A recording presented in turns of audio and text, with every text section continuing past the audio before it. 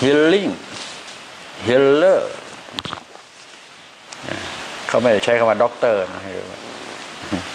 ด็อกเตอร์นู่นนายแพทย์นางแพทย์นางสาวแพทย์ไปนู่นเนี่ยอย่างคนละศาสตร์เป็นอย่างนี้ศาสตร์มันคนละศาสตร์ของด็อกเตอร์เขาวิทยาศาสตร์จ๋าเคมีชีวะและฟิสิกส์ฟิสิกส์ก็คือเรื่องคลื่นไงครับเอ็กซเรย์เนี่ยก็คือเรื่องฟิสิกส์นะ เอ็กซเรย์ scan MRI พวกนี้พวกกลุ่มฟิสิกส์จำหน่อยครับพวกนี้น่าจ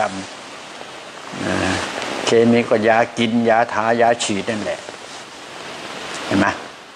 แต่ชีวะสิ ชีวะชีวิต ชีวะเข้าไม่ได้นะครับเห็นไหมของเราเป็นเรื่องของชีวะหรือว่าชีวิตกับ pure energy นะ ของฟิสิกส์ของเขาเป็นฟิสิกส์ที่ไม่บริสุทธิ์นะครับจำจำนะเพราะเขายังเป็นคลื่นอยู่นะครับ ของเรานี่มันไม่มีคลื่นแล้ว ไม่มีคลื่น หรือว่ามันอยู่ตรงกลางระหว่างเนี่ยนะฮะเออมันอยู่ตรงกลางระหว่าง โปรตอนกับนิวตรอน ตรงเนี้ยฮะไม่มีคลื่น แต่เป็นพลังงานที่ยิ่งใหญ่ ใหญ่ยิ่งยิ่งใหญ่ เกินกว่าภาษาใด ๆ ที่จะอธิบายได้ภาษาตรงนี้ครับ เพราะฉะนั้นพอเวลาใช้บริการกันเนี่ยจะต้องเริ่มต้นจากการสื่อความหมายให้เข้าใจซึ่งซึ่งซึ่งกันและกัน ให้แจ่มชัดซะก่อนใช่ไหมก็แปลว่าโต้ตอบกันผ่านภาษานี่แหละภาษานี่มันเป็นทั้ง ศิลปะ เป็นทั้งวัฒนธรรมนะแล้วก็ภาษาเนี่ยมันส่งผลให้เกิดค่านิยมได้ด้วยนะครับ ค่านิยมนะค่านิยม ภาษาเนี่ยค่านิยมนะนะนะนิยมชมชอบนี่แหละนะก็คือให้เกิดความเชื่อนั่นแหละนิยมก็เชื่อ นิยมนู่นนี่นั่น นิยม ถ้าพูดถึงศาสนาก็นิยม ตามหลักธรรมคำสอนของศาสนาที่ที่พระศาสดานั้นๆได้ผ่องทาย องค์ความรู้ความเข้าใจจากพระองค์สู่การบัญญัตินะฮะการบัญญัติ ก็เป็นเรื่องราวของคำว่าศาสนา ศาสนามีองค์ประกอบอยู่สามจุดนะครับหนึ่งก็คือเรื่องของ บัญญัติพระคำพีมีหลักฐานการเขียนเอาไว้เรียกว่าบัญญัติจะมาล่ะส่วนพระพุทธศาสนาคือพระไตรปิฎกนี่เรียกบัญญัติสองจะต้องมีบุคลากร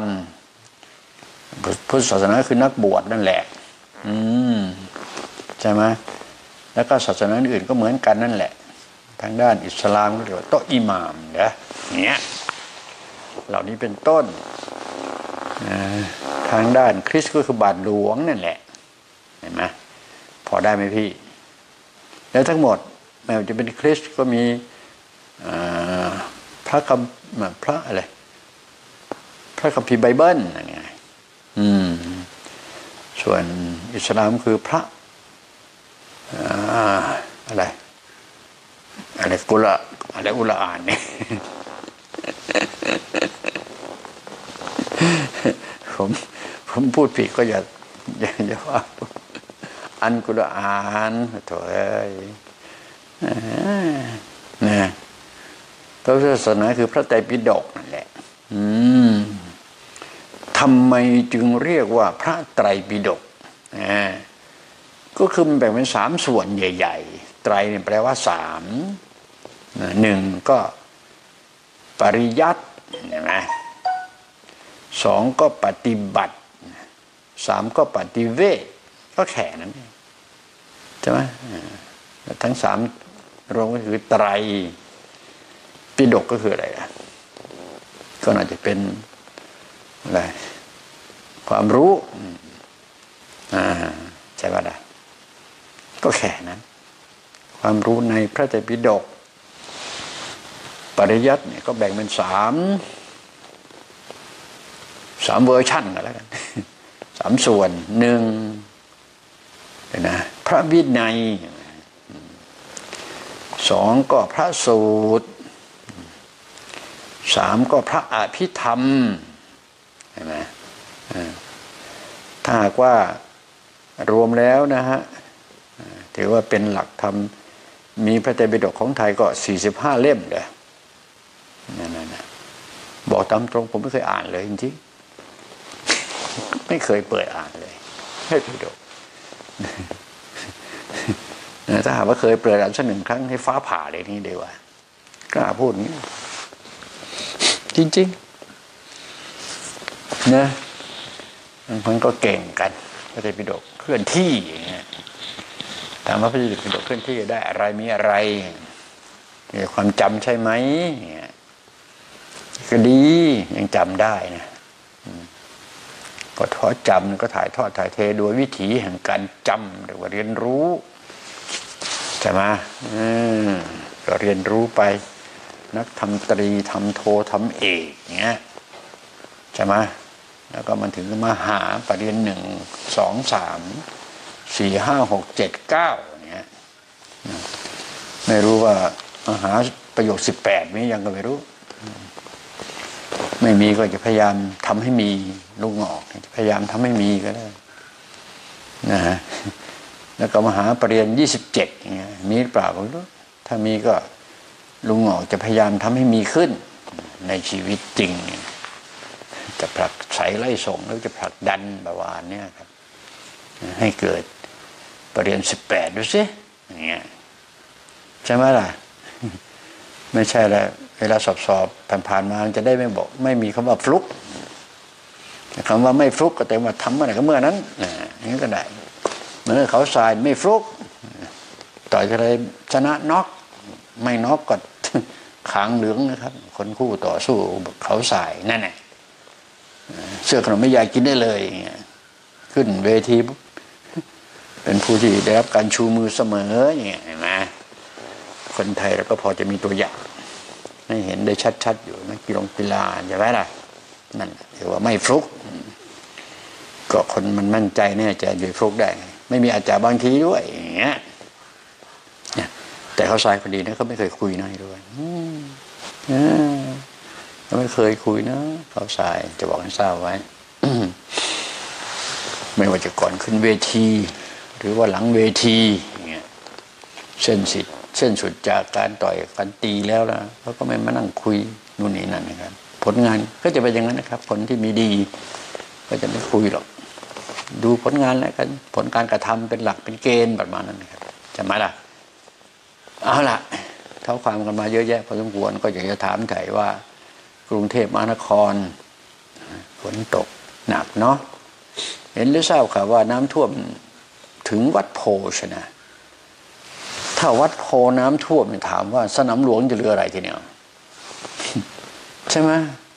มันอยู่กั้นกันระหว่างวัดพระแก้ว วัดโพ พระแก้วอยู่กั้นกลางใช่ไหมล่ะเออต่อมาก็เป็นสนามหลวงสหลวงแล้วกำลังมีพิธีอะไรต่างๆที่จะทำกันวันที่ยี่สิบหกนี่ใช่ไหมล่ะ ถ้าเกิดวันนั้นนะนะแล้วก็คาดเดาไว้เฉยแล้วครับ ทั้งหมดแล้วก็อยากให้มันเกิดขึ้น อ้าวใครไปห้ามฟ้าห้ามฝนได้ทีเดียวเออนี่ผมอยู่ที่บิสเบนเนี่ยออสเตรเลียอย่างเงี้ยเออว่าไปหมดนะถ้าหากว่าน้ำมันท่วมหลาไปหมดเนี่ย จะไปยังไงมาอย่างไงเห็นไหมลองนึกภาพสิครับว่า วันที่ยี่สิบหกตุลาเนี่ย ใครๆก็รู้ว่าจะเป็นวันอะไร ทุกคนทุกท่านคนไทยอยู่ใกล้อยู่ไกล อยู่ซ้ายขวาหน้าหลังล่างบน จุดไหนก็ตามของโลกไปเนี่ยใช่ไหมที่บริสเบนก็ผมก็อยู่ในพิธีนั่นแหละ ใช่ไหมวัดวารามก็ทำมันอยู่แล้ว ใช่ไหมผมก็จะหนีไปไหนแล้ว ใช่ไหมอืมวันนี้แปลกหน่อยนะนี่นี่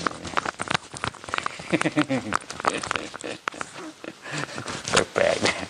ๆไม่ใช่เราไปเดินแถวๆชายหาด โกลโคดกันนะมาตอนเย็น เห็นมันมีเฮ้ยมันเตะตาดิวะไม่ใช่อะไร มันจะได้มองเห็นแต่ไกลๆหน่อยอย่างเงี้ยก็เลยมาลองดู ก็แค่นั้นแล้วมีอะไรกันนักกันหนาพี่ก็นี่เลยก็ขำตัวเองนกันอะขำไปขำมาขำคนอื่นขำตัวเองดีกว่า คิดเองขำเองเนี่ยสบายสบาย ตามสไตล์ลุงเงอกอย่างเงี้ยนั่นปะเอาล่ะเมื่อถามถ่ายถึงน้ำฟ้าน้ำฝนนะก็ฝนจากฟ้าเนี่ยใครมันจะเป็นคนห้ามฝนได้ แน่ๆเสียวโอ้ใครล่ะใช่ไหมใครมันทำให้ฝนตกได้อะเงี้ยอืมกลุ่มกลุ่มทำฝนได้ เป็นไง มีปากมีเสียงแบบนี้ตอนเนี้ยอืมเอ๊ะมีไม่มีก็เรื่องของคำชื่อของเรา เรื่องเราก็ไปตามบทบาทลีลาของเรานะเรื่องสุขภาพนะครับ การเมืองไม่ยุ่งนะ บอกให้ทราบการมุงก็ไม่เกี่ยวนะอืมให้รู้กันชัดๆเอ้ผมจะรอดในเป็นเรื่องเป็นราวดีไหมเนี่ย มีไหมที่จะเป็นเรื่องเป็นราว เรื่องราวที่อยากจะอืม จริง ๆ วันนี้ก็ไม่ได้เตรียมการว่าเออเอาที่มันไฮไลท์ซะหน่อยดีไหมสิ่งที่พูดอยู่ในประเทศไม่ได้เนี่ยมาพูดนอกประเทศจะดีไหมเนี่ยอย่างเงี้ยใช่ไหมถึงพูดนอกประเทศมันก็อยู่ในเข้าไปถึงในประเทศอยู่วันยังค่ำนะยุคสมัยมันห้ามไม่ได้หรอก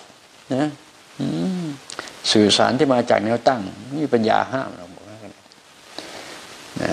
ทีนี้เมื่อไม่มีปัญญาห้าม จะทำยังไงล่ะ จะเปิดแบบไหนล่ะ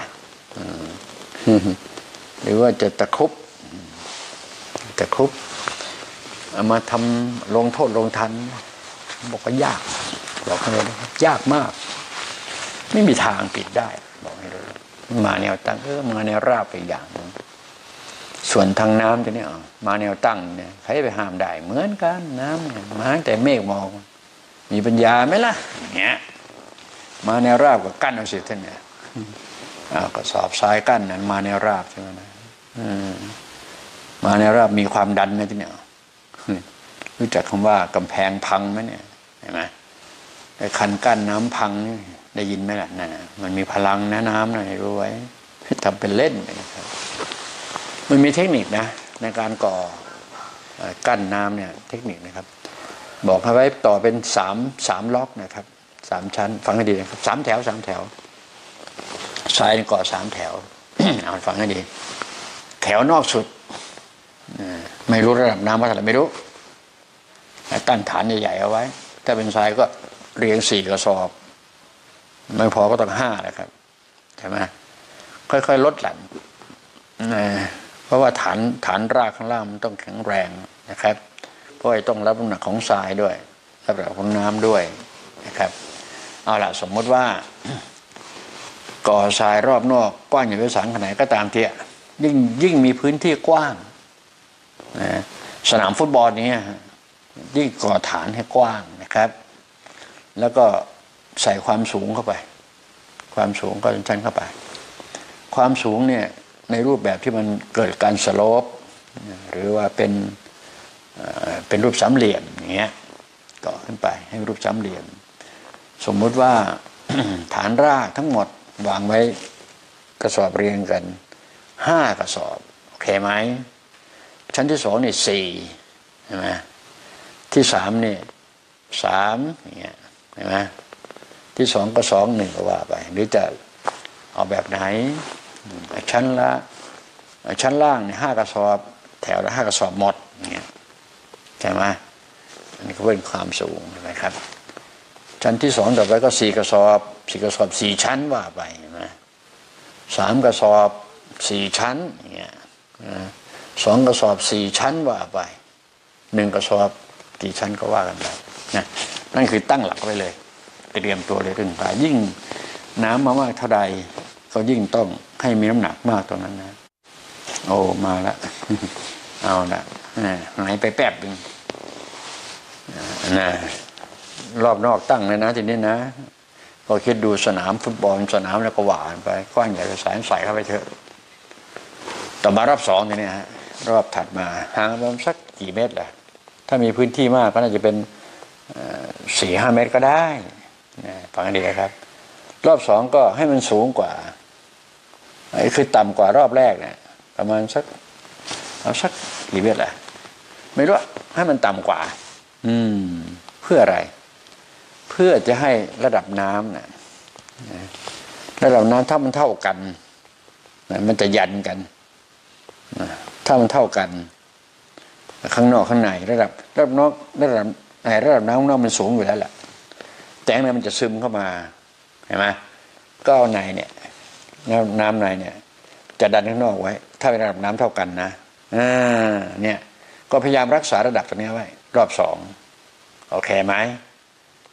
เอาอาจจะทรายเหนือน้ำสักสองกระสอบก็ยังอยู่ได้ เพราะมันไม่มีคลื่นมามาบับทัข้างนอกมีคลื่นเรือคลื่นแล้วก็ว่าสารพัดคลื่นสารพัดคลื่นแหละ ข้างในไม่มีคลื่น มันจะนิ่งเห็นไหมถ้าระดับน้ำมันเท่ากัน แรงดันภายนอกมันจะลดลงทันที เห็นไหมครับ นี่มองให้ออกนครับ เอาละแล้วก็สูงไปก็ตามเอาไม่รู้ รอบที่สองคือรอบในนะครับ รอบที่สามอีกก็คือรอบในในเข้าไปอีกห่างก็จะกี่กี่เมตรล่ะจะเป็นสามเมตรห้าเมตรก็ตามใจได้ทั้งนั้นนะครับ แต่รอบในสุดมันจะต่ำกว่ารอบสองโอเครอบสองจะต่ำกว่ารอบแรก รอบแรกคือข้างนอกรอบสนามฟุตบอลคือรอบแรก เนี่ยก็รักษาระดับเอาไว้แค่นี้เองหลักการง่ายๆ แล้วเราก็จะสามารถที่เอาน้ำกันน้ำที่มีแรงเท่ากับเท่าไหร่ไม่รู้ก็จะเอาอยู่ ส่วนมากแล้วพวกพวกก็จะใส่รอบเดียวฐานล่าง น้ำมังเนี่ยเอาไม่อยู่หรอกเพราะมันแรงดันมันสูง ยิ่ง ระดับน้ำสูงเท่าไหร่ก็ยิ่งแรงดันมันเยอะนะก็แค่นั้นเองหลักการง่ายๆทำเอานะนี่ก็คือส่วนหนึ่งนะฮะ นั่นก็คือลักษณะของน้ำจำเอาไว้หน่อย บอกต่อกันไป มันจะได้ไม่ใช่กันเข้าไปโอ้โหเอาที่สุดเอาไม่อยู่แล้วพังเลยทีนี้หมดทีเดียวโอ้โหเกลี้ยงเลยใช่ไหมใช่ไหมล่ะมันไม่มี มันก็แผนหนึ่งแผนสองเหมือนกันละทำอะไรก็มีแผนหนึ่งแผนสองแผนสามว่าไปสำรองเอาไว้สำหรับคนที่มี big project ใช่ไหม นหนึ่งอย่างนั้นแผนสองนี้แผนสามนี้ในลักษณะของคนที่มีปัญญาก็เรียกว่าแอดวานซ์ไอเดียหรือจะมีความคิดล่วงหน้าแต่ไปด้วย imagination ก็ว่าไปนะมันก็ไปรูปแบบนั้น ก็เป็นนักสร้างสรรค์นักพัฒนานักแก้ปัญหาอย่างเงี้ยก็ได้นะอันนั้นก็คือสิ่งนั้นไป ก็คิดว่าคงน่าจะเรื่องของน้ำก็มีแค่นี้ส่วนที่จะกันไม่ให้น้ำ ฝนตกจากฟ้าไม่มีใครทำได้หรอกนะมาถ้ารับทำนั้นก็แค่นั้นะครับเนาะเนาะหรือใครทำได้บอกเลยนะจะประกาศไปถึงที่ไปอะไรกันคนที่ทำสิ่งนั้นได้นู่นเนี่ยทำไมจะบอกนู่นเนี่ยต้องบรรลุธรรมในระดับนู่น เจโตวิวัตนู่น จะบอกเขาจะทำได้ ความจริงเนี่ยอนาคามีได้ไหมไม่ได้ครับ ระดับนี้อนาคามีไม่ได้อนาคามีนี่สามารถที่จะควบคุมลมได้อย่างนี้เองใช่ไหมควบคุมนะ ไม่ใช่อนาคามีเข้าอารมมาใช้ได้แล้ว ให้ใช้ประโยชน์นะแต่ควบคุมไม่ให้ลมพัดเนี่ยมันทำไม่ได้ อนาคามีทำไม่ได้นะครับ ป้องกันไม่ได้อ่านี่เรียกว่า ใช้ลมเป็นประโยชน์ได้เห็นไหมพูดจะก็ว่ารู้เรื่องเรื่องนี้ทั้งหมด คุยเปล่าลุงหอกโอ้ยเราให้ฟังไม่ได้คุยแล้วเราให้ฟังมีหูก็สดับมันไป ไม่มีหู นี่ผมใช้หลายหูแล้วเนี่ยผมใช้ตั้งสี่หูแล้วเนี่ยไหมนี่สองไหมใช่ไหมท่านใช้สองหูเลยผมใช้สองหูมีเลยใส่ไปเพิ่มอีกสองเนี่ยเป็นสี่เนี่ยโถดูจะจะขนาดไหนเอาพร้อมยัง เข้าได้ยัง ใครจะมาใช้บริการเรื่องของการเยียวยารักษาสุขภาพนะครับรักษาสุขภาพนะ ไม่ใช่รักษาโรคนะครับ ผมไม่ยอมรับคำว่าโรคเด็ดขาดเลยไม่รู้ว่าไม่ยอมเลยนะครับผมยอมรับแค่อาการอาการที่เขาว่าโรคนั้นโรคนี้สารพัดโรค รวมแล้วที่มีผู้คนรวบรวมชื่อโรคเอาไว้ในโลกใบนี้นะครับ มีทั้งหมด 2,250 ชื่อโรคนะครับ มนุษย์เราเนี่ยดูมีผู้คนเขารวบรวมไว้อ่าเชิญครับเอาต่อภาคสองเรื่องสัญญาณใหม่พอดีว่าเนื่องจากอินเทอร์เน็ตสัญญาณอ่อน ที่นี่ใช่ครับ โอ้ยที่นี่สัญญาณเดี๋ยอ่อนวให้ทุกคนเข้ามาใหม่แล้วกันนะครับเหรอ